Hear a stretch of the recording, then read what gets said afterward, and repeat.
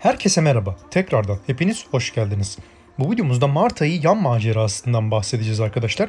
Tüylerinizi nasıl kullanmanız gerektiğini, hangi tabutları satın alacağınızı ve hangi seviye maceralara gireceğinizden bahsedeceğiz. Evet, şu anda gördüğünüz gibi önümde bir takvim var arkadaşlar. Bu takvimden bize her gün bir tane ismine bakalım neymiş? Kuzgun tüyü veriliyor. Bu tüylerle biz e, Mart ayının yan macerasına giriş yapabiliyoruz e, girdiğiniz seviyeye dikkat edin. Ve bir kere girdikten sonra çıkış yaparsanız tüyünüzü kaybediyorsunuz arkadaşlar. Evet tüyler bu şekilde. Şimdi şuradan benim şu anda iki tane tüyüm olduğunu görüyorsunuz arkadaşlar. Ve 5 tane de ur parçam var. Mailbox'ınıza 120 tane ur geldi biliyorsunuz bu ayın başında arkadaşlar. Yani bu güncellemenin başında. Ben bu 120 uruyu arkadaşlar mağazada Odin'in silah deposunda 5 tane antik dönem kış kutusu almak için kullandım.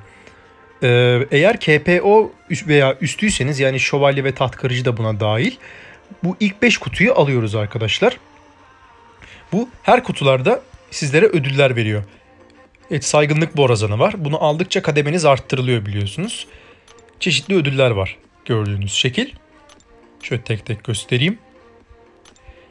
Mailbox'ınıza gelen 120 uru toplam 5 kutu almanıza olanak sağlıyor. 5. kutudan sonra arkadaşlar diğer kutuları almak için e, maceraları oynamanız gerekiyor. Eğer KPO ve üstüyseniz bu 5 kutuyu alınca arkadaşlar 6. seviye maceradan başlıyorsunuz. E, daha önceki e, Mart Mart ayı yan macerası videomu izlemediyseniz onu mutlaka izlemenizi öneririm arkadaşlar. E, eğer durum hala sizin için karışıksa orada anlatıyorum çünkü. Ama yalnız o videoda bir şeye dikkat edin arkadaşlar. 5. seviyeden başlamalısınız yazıyor. O yanlış. 6. seviyeden başlamalısınız olacak. Oraya dikkat edin. Evet. ilk 5 kutuyu aldık. Şimdi yan maceramıza gelelim. Evet iki tane ilave macera görünüyor gördüğünüz gibi. Odin'in zırh eldiveni 5. kademe ve 6. kademe. Ee, şimdi 6. kademe açık çünkü 5. 5. kutuyu aldım arkadaşlar. 5. kutuyu alırsanız bir ilerideki seviyesi açılır. 5. kutuyu almak demek 6. macerayı açmak demek arkadaşlar. Şimdi toplam 10 tane kademe var biliyorsunuz. Bu kademeleri nasıl oynamamız gerektiğini anlatan grafik işte burada arkadaşlar. Evet, Odin's Armory Tutorial diyor. Yani silah deposu rehberi arkadaşlar. Evet, Tier 6, 7, 8, 9, 10 şeklinde yazıyor arkadaşlar. 6, 7, 8, 9, 10. Eğer KPO ve şövalye üstüyseniz dediğim gibi 6. seviyeden başlayacaksınız. 10. seviyeye kadar gideceksiniz. Evet. Gördüğünüz gibi 6. seviyeyi 5 kere oynayacaksınız diyor. 5 kere oynadıktan sonra 6. tabutu alacağız. 50 uru karşılığında. Ondan sonra 6 kere 7. seviyeye oynayacağız. Oradan da 10 uru gelecek arkadaşlar her oynama başına. Yani toplam 60 tane alacağız. 60 tane olunca da 7. tabutu alıyoruz gördüğünüz gibi. 60 uru istiyor o da. Ondan sonra onu aldıktan sonra 8. seviye açılacak. Oradan da 7 kere oynayacağız arkadaşlar. O 70 uru toplayacağız toplam. 70 uru toplayınca da 8.'miz açılacak arkadaşlar. Şu anda 5 urumuzun olması lazım elimizde. Çünkü 120 urunun 115'ini harcıyoruz ilk 5 kutuyu almak için. Elimizde 5 kalıyor. Şimdi buradan toplam 70 alacağımız için ve o elimizde kalan 5 de toplam 75 edeceği için 8. tabutu alabileceğiz arkadaşlar. Bunu aldıktan sonra da elimizde hiç uru kalmayacak. Bu yüzden 10 kere 9. E, seviye oynamamız lazım arkadaşlar. Eğer 9 kere oynarsak 99 tane urumuz oluyor. Son tabut 100 uru istediği için yetmiyor. 10 kere oynayacağız. Ondan sonra arkadaşlar 9. tabutu alacağız ve 10. seviye açılacak.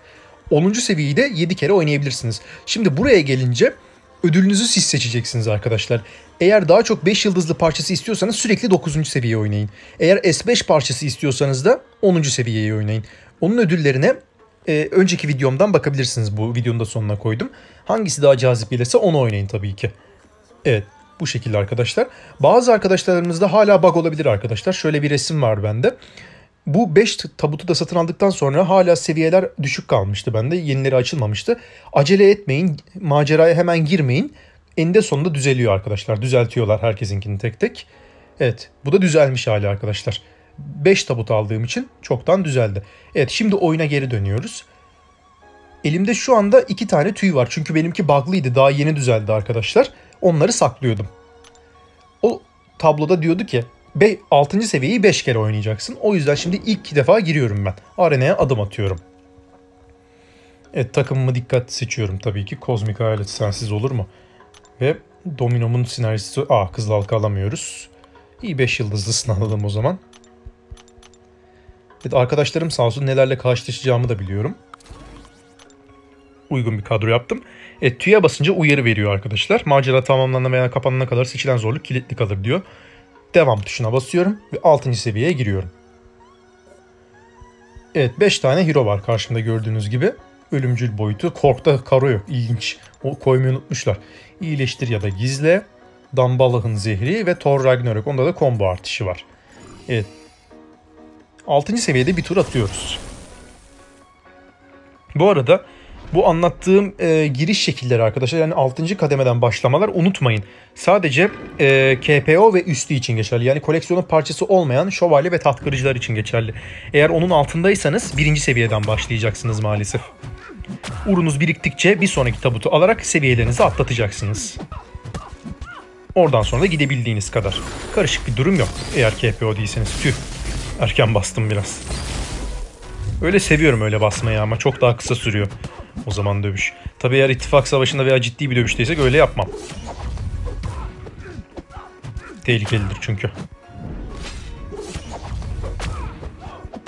Evet, hemen lanetlemeyi açıyorum ki yok edilemez takviyesi açmasın. Kozmik alet sürücü çok iyi gidiyor Hela'ya karşı. Evet ilk rakibimizi aldık. Şimdi sırada Kork var. Korga kozmik alet sürücü de çok güzel gidiyor biliyorsunuz. Çünkü orta saldırıları enerji saldırısı kozmik alet sürücünün.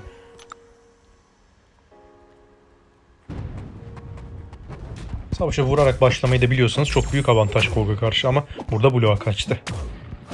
Beyefendicik.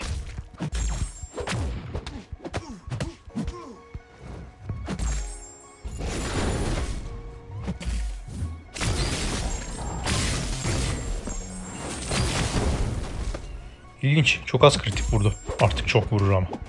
Ve taş kalkanı gelmeden korgumuzu da indirdik. Evet sırada Hulk Ragnarök var. Domino kullanmayacağım. Kritik başarısızlık olursa beynimle yüzdeş açar.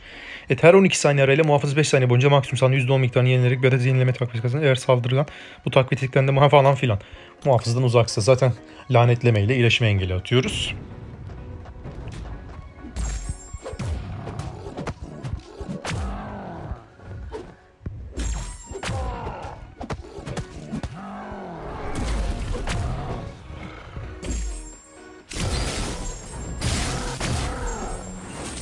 Açamadı gördüğünüz gibi. Oynaması çok zevkli gerçekten. Evet gördüğünüz gibi macera kolay arkadaşlar. Tabi güçlü bir hero kullanıyorum ben şu anda. Ama rakipler Korg dışında çok zor değil. Korg'a güzel bir antiniz varsa çok rahat halledersiniz. Buradaki her hero'yu. Evet. Ee, o başta anlattığım tüy kullanım rehberini de mutlaka kafanıza yazın arkadaşlar. Dikkatli kullanın tüylerinizi. Eğer bak hala devam ediyorsa bekleyin, sabırlı olun. Hiçbir yere girmeyin. Zaten düzelmiştir artık çoğunuzda ama düzelmediyse ilk 5 tabutu almanız durumunda hala diğer seviyeler açılmadıysa bekleyin. Nasılsa tüyler e, sona ermiyor. Bir yere kaçmıyor. De, deponuzda bekliyor. Yani zulanızda. Ben beklettim. Acele etmedim. Bu maceraya girmedim. Zaten yan maceralar geldiğinde hemen girmeyin arkadaşlar. Bir inceleyin önce. Ondan sonra %100 emin olduktan sonra bir hata yoksa o zaman girin. Evet geldik Thor Ragnarök'e. Buranın boss'u.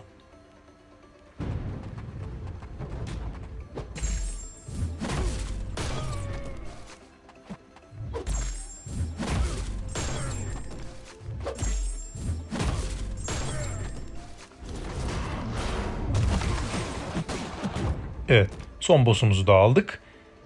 Şimdi 10 uğur parçası vermesi lazım.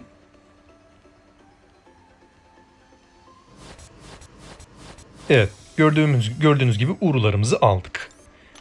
Şimdi benim bir tüyüm daha var. Bir kere daha oynayacağım burayı. Tabii şimdi değil. Daha sonra oynarım. Zaten e, diğer tüy de 8 dakikaya gelecek. Şu an saat 3'e geliyor çünkü. Her 3'te takvimdeki e, eşyayı alıyoruz. Evet. Şimdi e, bir tekrar mağazaya geleyim. Söylediğimi unutmayın. Elimde 15 tane tüy var.